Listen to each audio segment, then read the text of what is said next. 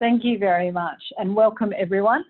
Um, it's my delight tonight to be able to talk to you about lessons from renewable energy laws, um, which is a project that I have been undertaking for about the last 10 years, looking at every country in the world that has national renewable energy law and trying to better understand how countries actually legislate to support their domestic consumers and the domestic renewable energy producers and how that might contrast with other views around uh, the internationalisation and regionalisation of renewable energy law. So today what we're going to cover is we're going to talk about this new original research.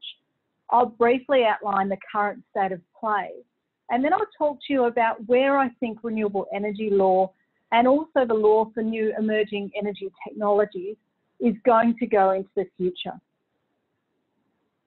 So I just quite like this photo. This photo is from the Philippines and it was at a community event advocating for a renewable energy act or bill at the time. And it was one of the earlier um, pieces of legislation within Asia um, that has been very widely accepted.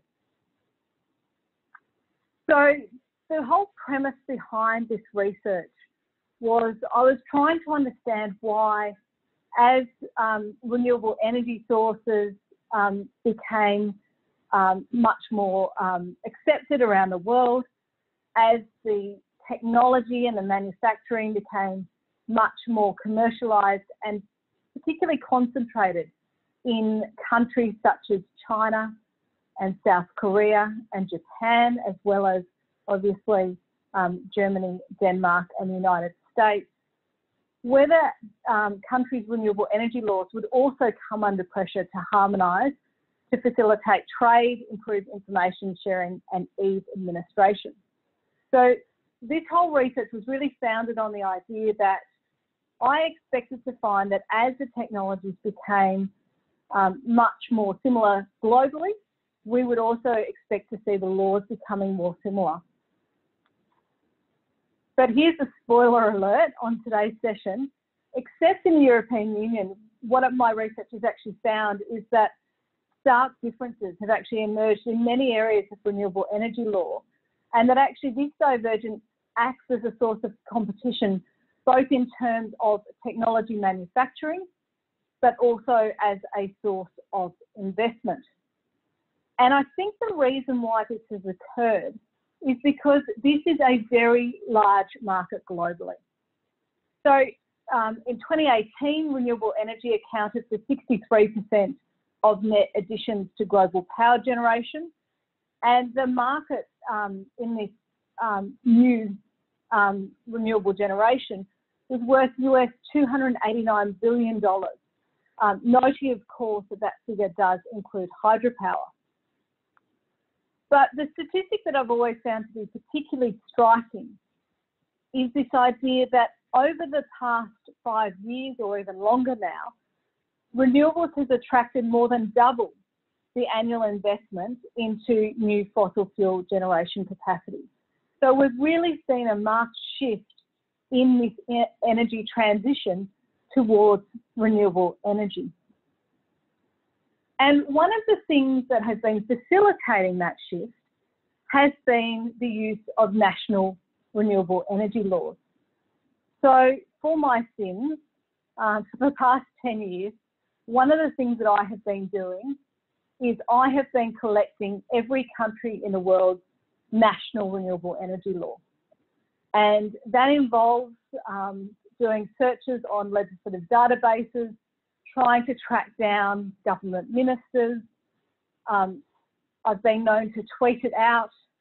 Uh, if anyone is on the line from Togo, Togo caused some particular problems when they introduced their new law in uh, July 2018.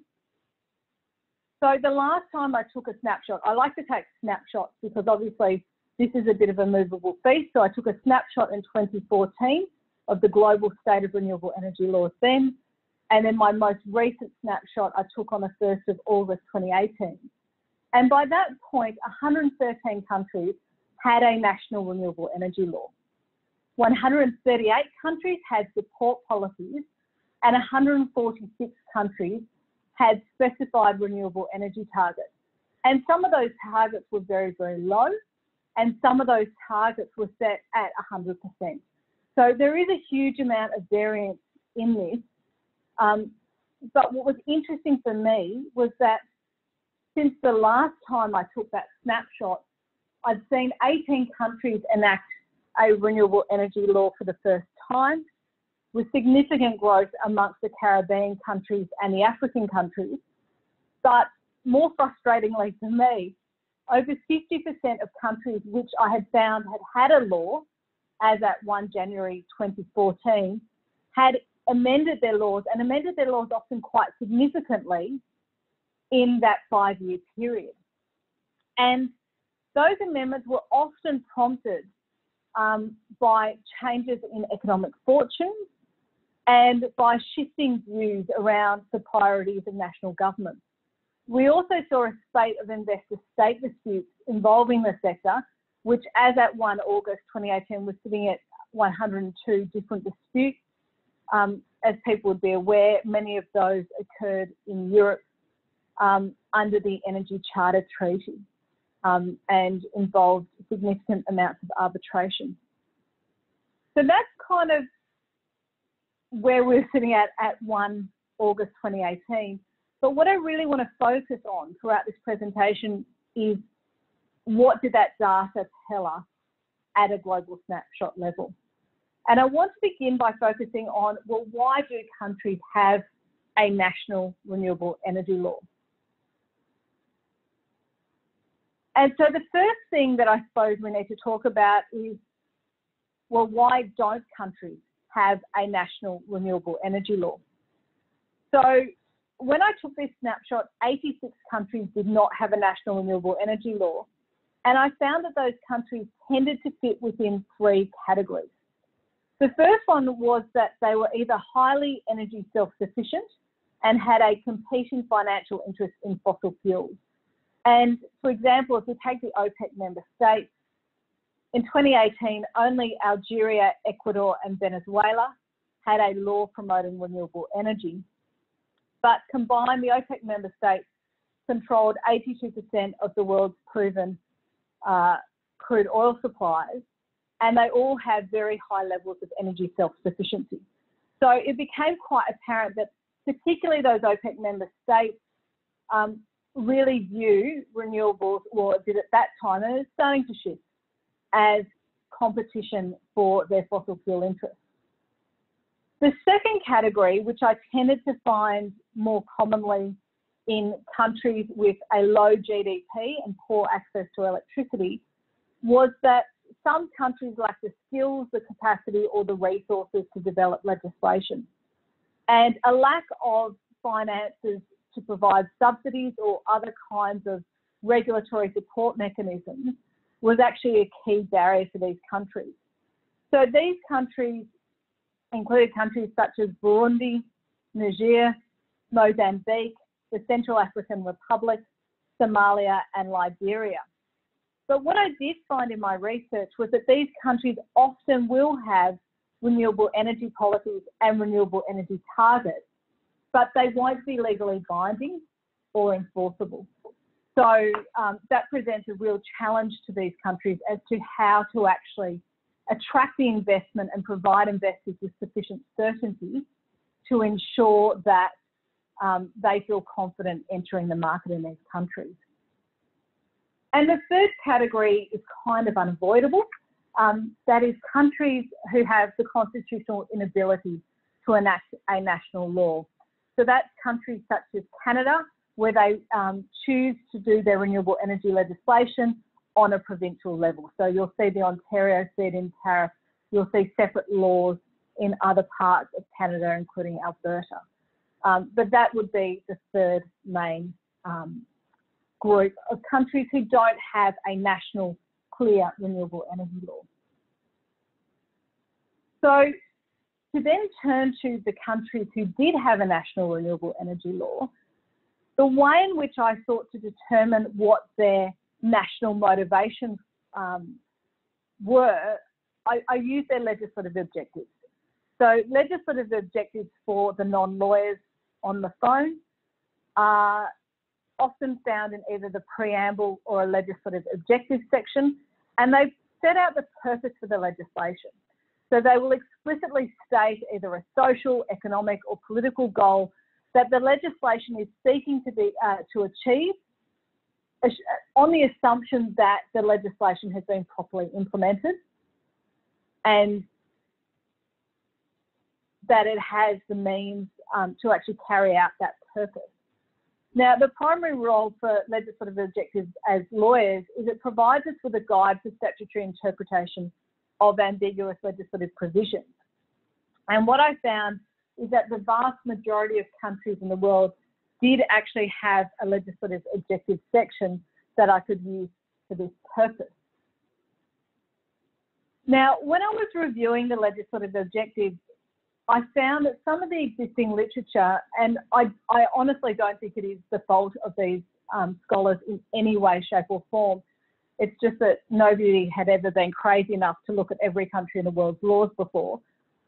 Um, made some statements which were often extrapolated, I believe, from either um, the experience of EU member states where there is very great convergence and similarity in their laws as a result of being required to transpose the Renewable Energy Directive, or wealthy OECD countries. Um, I found claims such as, sorry, such as these, that the motivations for and objectives of renewable energy policy are strikingly similar across most countries or that over the past couple of decades, environmental concerns have become more critical drivers of countries' decisions to increase renewables investment than energy security. Or you said this in Chanovich and Fisher, the foremost rationale is to reduce the threat of climate change. So that is what I was expecting to find when I actually studied these objectives. However, what I found was actually something quite different. And the thing that shocked me then and continues to shock me now is that this is the case even after the adoption of the Paris Climate Change Agreement. So within the Paris Climate Change Agreement, we had 145 parties who included domestic action to support renewable energy to help mitigate and adapt to climate change in their nationally determined contributions and 109 parties actually provided quantifiable targets for renewables. Now, clearly, those quantifiable targets are obviously um, that's a lower number of countries or fewer countries than have um, stated renewable energy targets. But I really expected to see that um, in the context of 50% of countries amending their laws, that this would be much more prominent as a national motivator. And what I found was that while there was some evidence of this being reflected in those 18 countries who had enacted new laws, when we had, or sorry, 18 countries who had um, laws for the first time, when we had countries who were merely making a legislative amendment to an existing law and not going that next step and actually adopting a new law, um, we weren't really seeing this being reflected. So when I took the global snapshot, I'll talk to you a bit more about some of the other national motivations in a second, only 28 countries around the world actually specified that one of their key drivers as a country for having a national renewable energy law was to reduce greenhouse gas emissions. Now, 55 countries did state that they were in renewables for reasons of environmental protection. But the other thing that I found was that the countries who really were prioritising reducing greenhouse gas emissions, and ironically, Australia is actually one of those countries where our stated purpose for having um, a renewable energy law is to uh, address climate change and reduce greenhouse gas emissions which was obviously introduced under a former government and not the current one, um, was that those countries tended to be early adopters of uh, the Kyoto Protocol. So they tended to be countries who had been engaged in um, climate change and concerned about greenhouse gas emissions for a very long time.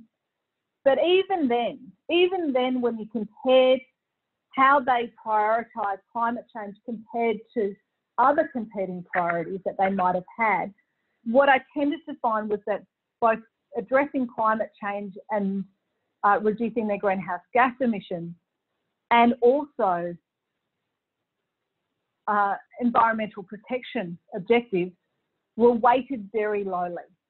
They were often um, one of the lowest priorities in their list of legislative objectives.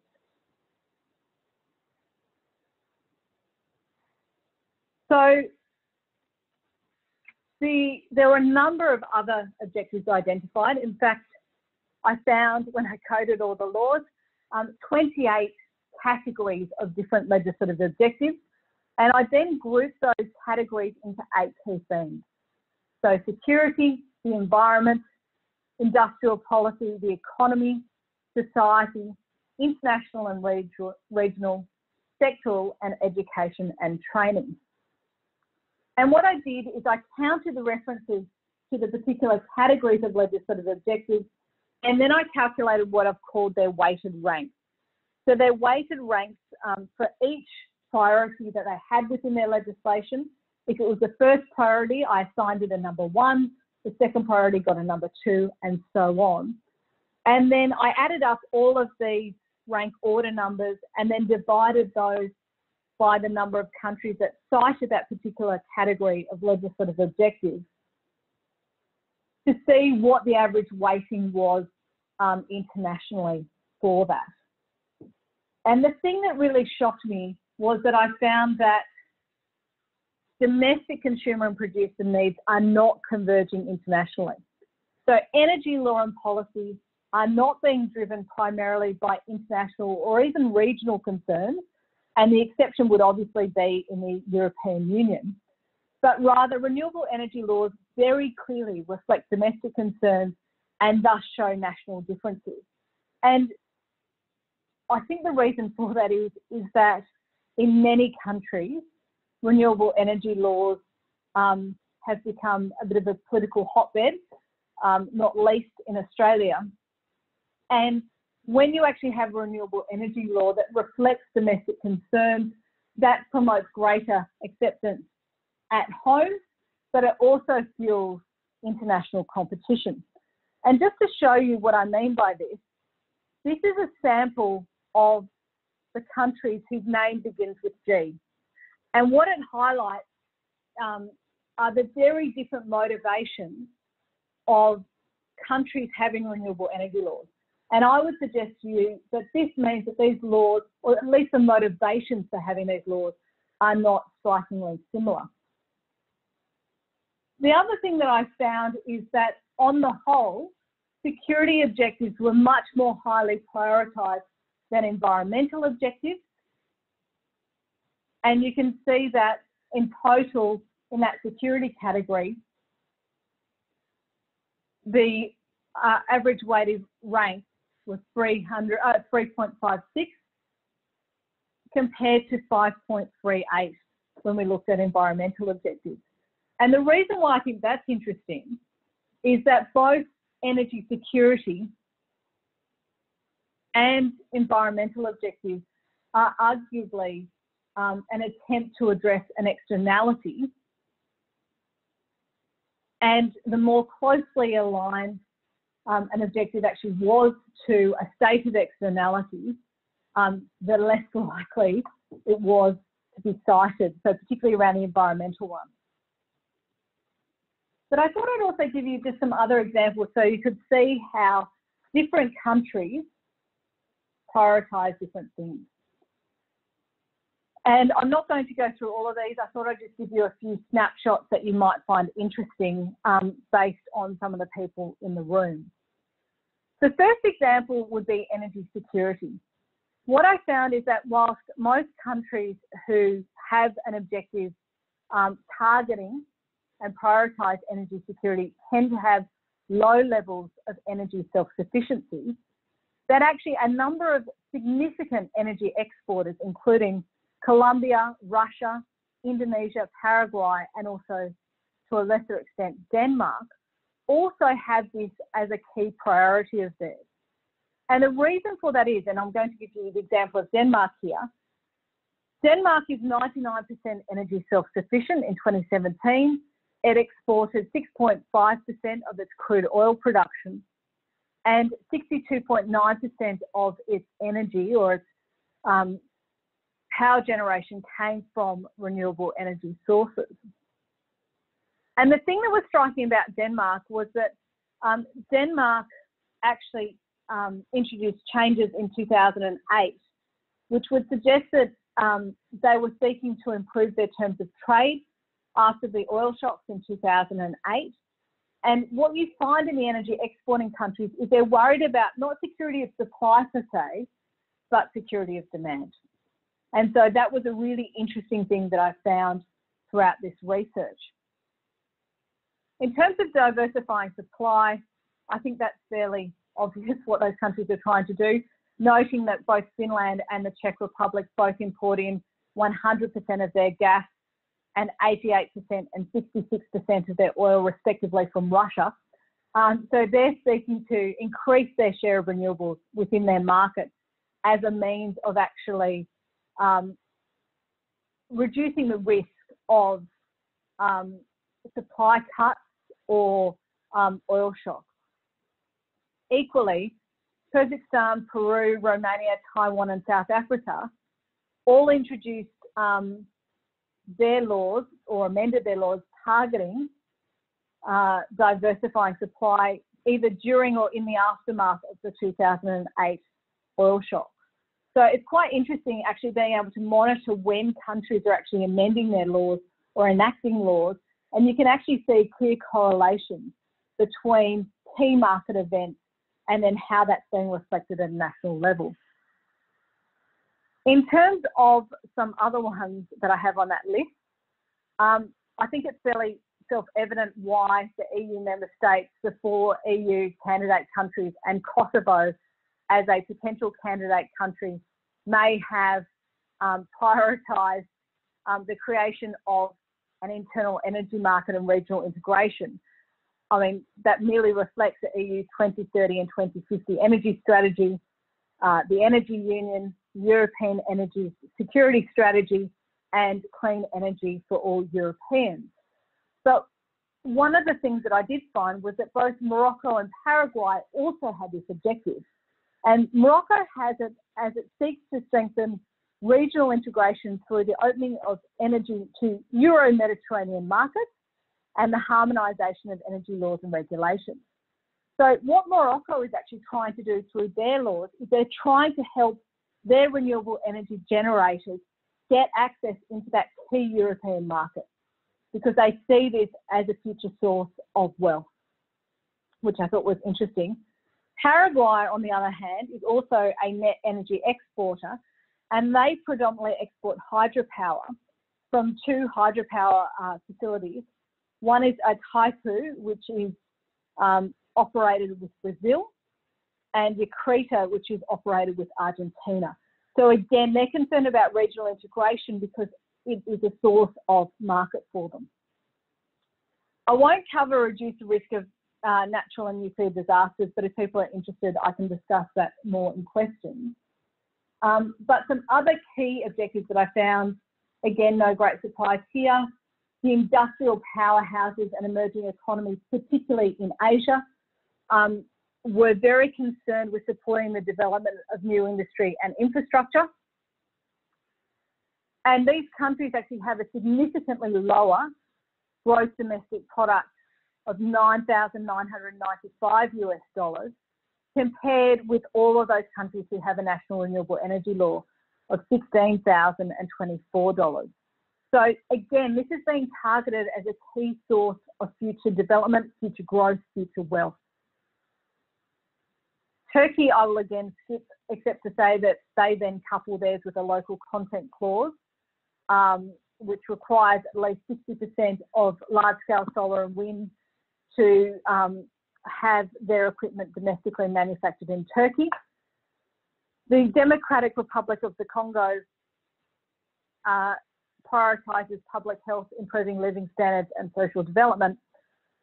But the last one that I really want to focus on before I move on is about access to energy and energy affordability. And what my research found was that if you are a country with a low GDP, say on average 7,012 US dollars, you tend to prioritize access to energy. If you are a wealthy country, you are then in the position to worry about energy affordability. And in fact, out of all of those 28 legislative objectives, I found that on average, um, energy affordability had the highest um, average GDP of 20,373 US dollars. And what that means is that the countries who are prioritising energy affordability are much more likely to focus on least cost renewable energy generation and only the most cost competitive projects, regardless of their size or location. So you then see um, these motivations being filtered through into project selection and also um, seeking to find regulatory support mechanisms that will deliver those objectives at least cost. Before we move on, it's probably worth just mentioning that one of the other areas where there is divergence internationally, though less than with the national motivations, is around what even is renewable energy. And so while I found that the vast majority of countries support PV solar, wind, concentrated solar thermal, um, small scale hydropower, landfill gas, sewage treatment gas, biogas, biomass and geothermal, what you start to see from hydropower um, downwards is a significant drop off in those countries who accept that as a renewable energy source for the purposes of their law. So to turn to hydropower, for example, large scale hydropower is excluded by 27 countries from their law. So the definition of what small scale actually is varies considerably from 3 megawatts in Panama up to 30 megawatts in Malaysia and Tajikistan. So it's, it's one of the points I'd like to make um, is that you need to be very careful in comparing statistics around different renewable energy sources in different countries because what is defined as renewable energy and even the scale of it differs really quite considerably by country. Another interesting recent development in terms of hydropower is that we're starting to see pumped hydropower being explicitly excluded from definitions. And we've already seen that happen in countries like Albania, Taiwan, and also in the most recent uh, recast renewable energy directive from the EU. Another area that I think you need to watch when looking at definitions is the definition of biomass. Now, quite clearly, the vast majority of countries are very happy to accept modern biomass as a renewable energy source. But one of the other things that I found is that some countries are including um, some sources of energy within their definition that are either traditional or woody biomass, which many other countries may not consider to be um, renewable energy sources. So, for example, Kenya actually has in their Energy Act that renewable energy sources includes charcoal. Now, charcoal within the Kenyan market makes up 82% of household energy in urban areas. It employs 900,000 people in Kenya and it contributes 1.6 billion US dollars to the Kenyan economy. But at the same time, Kenya's really battled with this because whilst their Energy Act is promoting charcoal as a renewable energy source, Kenya has less than 2% of forest cover left and in 2018, this actually led to a ban in a number of counties and restrictions on both its transportation and trading. So it has provided a real challenge, and it's an area where the United Nations Development Programme has been working very hard with Kenya to try and develop sustainable forms of charcoal, uh, which are actually renewable within the um, or regenerate at a faster rate than obviously charcoal does. Equally, Bangladesh, Belarus, and Finland and Thailand, those countries who often have quite significant logging industries include wood. And in Australia, we even include wood from old growth native forests, which has been very controversial because it actually can change the economics significantly um, in terms of the viability of logging projects. And again, query whether you're going to regrow an old growth native forest at a fast or equal rate um, to the rate of use. A number of countries actually explicitly exclude both um, traditional and woody biomass. I've provided you with an example there from China's renewable energy law. And I note that traditional biomass is not recognised by either IRENA, the EU, or any other developed country. Another interesting quirk that I found, and this is for our Swedish friends who are on the line, is that in Sweden, their law on electricity certificates, if you look at the definition of renewable energy source, you'll find that actually it looks fairly straightforward. It's something we can feel fairly comfortable with. But then I found that there was a definition of renewable electricity which stated that renewable electricity was electricity produced from renewable energy sources or peat. And obviously peat is the initial stage of coalification and the greenhouse gas emissions from burning peat are similar to um, those of fossil fuels on a life cycle analysis. But um, Sweden and Finland are obviously both major sources of peat, particularly within Europe. And so again, it's a way of trying to support domestic production. Keeping in mind though, that this is a snapshot taken at 1 August 2018 and the law may have subsequently moved on. Another thing that I briefly wanted to mention is what happens when domestic needs are not accounted for. And I thought an interesting case study here might be the case of Malawi.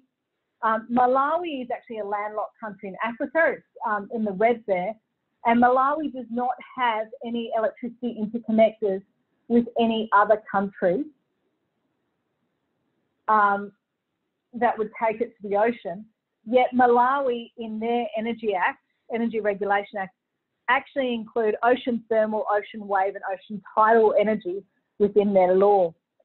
Now, there are 11 countries around the world um, who are landlocked who support ocean energy.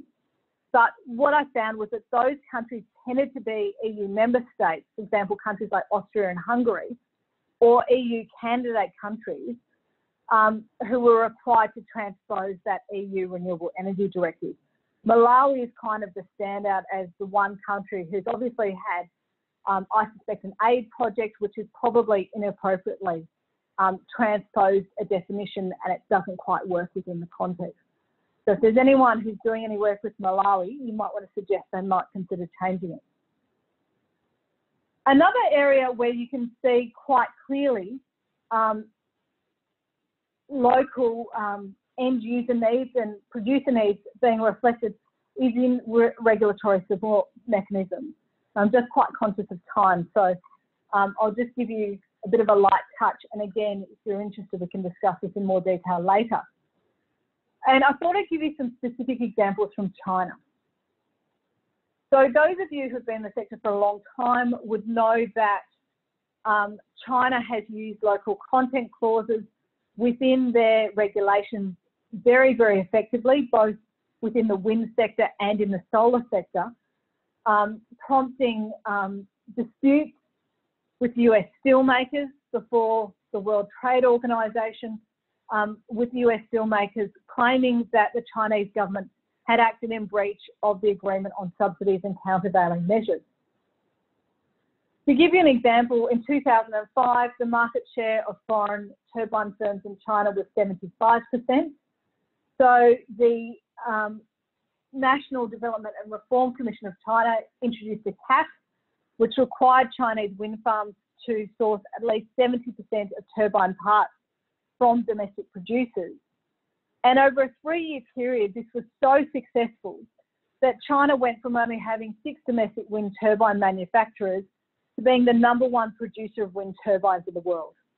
And then, indeed, when the GFC struck, and I actually moved to China because the Chinese had money, one of the things that was very striking was that um, the Chinese banks who actually had money to still fund renewable energy projects in other parts of the world were insisting that actually Chinese wind turbines were being used in order to get those wind turbines up to bankability on an international stage. Other things that we see within the Chinese market include um, differential feed-in tariffs depending on resource quality. So if you're based in a region with a poorer solar resource, you'll actually be given a higher level of feed-in tariff to reflect the fact that your loan costs are likely to be higher. Differential quotas for different provinces and states.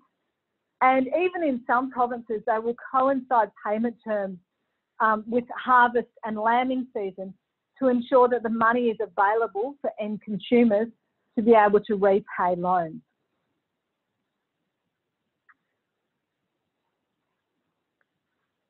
So where do I think this is all going? The first thing that I would note is that as renewable energy sources become increasingly cost competitive, I think we're starting to see a shift from accelerating deployment to actually managing high levels of grid integration. And this will lead to some really interesting questions in capacity constrained regions. And we're already having this issue in Australia of, well, do you prevent new deployment of, say, for example, PV solar cells altogether? Do you say you can put a new PV solar cell on your rooftop, but you cannot export? Or do you constrain every um, PV solar system as a whole um, and limit their export capacity? All of these are going to be really difficult questions um, for the sector and questions for the regulator. And there isn't a clearly obvious solution that is going to keep everyone politically happy. The second thing that we're seeing in Australia in particular is that we need our renewable energy sources and technologies to be much more resilient to new threats. So, for example, in bushfire prone areas in Australia, one of the problems that we saw most recently was that actually the bushfires took out um, large swathes of our electricity transmission network and distribution network, which then meant that people couldn't access emergency broadcast information and they couldn't get access to, um, for example, power to pump hoses to help fight those fires unless they had generators available. So what we're starting to see is a rollout of distributed energy resources and microgrids and the other thing that I've noticed in Australia recently is that, for example, last year there was a significant drop in the production of hydropower as we had one of the worst droughts in living memory. So we're going to require these renewable energy sources to be much more resilient and adaptable to climate change. So just briefly in conclusion, the primary motivation of most countries in adopting renewable energy laws is not addressing climate change. Rather, those national priorities are clearly evident as motivations and market drivers. And this is the source of key competition within our market. And you see that all over, particularly the Asian region, where um, countries are actively competing. South Korea, China, and Japan, and also to a lesser extent, the United States, are actively competing for investment um, to try and become key technology manufacturers. Um, I would note that this has also posed a significant risk to the sector. And one of the things that I'm anticipating will happen with the current coronavirus outbreak is that the supply chain, particularly for PV solar cells, is going to be substantially disrupted, at least in the short to medium term. And perhaps for the first time in the last 10 plus years, we are likely to see uh, prices go up um, until that supply has been re-established. So to leave you with some parting thoughts, um, energy storage laws, um, and I'm doing another very similar project with energy storage laws at the moment. They're currently about 10 years behind renewable energy laws, but there are key lessons that we can learn about what works and what doesn't work in particular economies, particular political contexts um, that I think need to be reflected when we're looking at laws for emerging energy technologies. So on that very cheerful note, there's the book that I've just written all about this um, and happy to hand back to you, Han.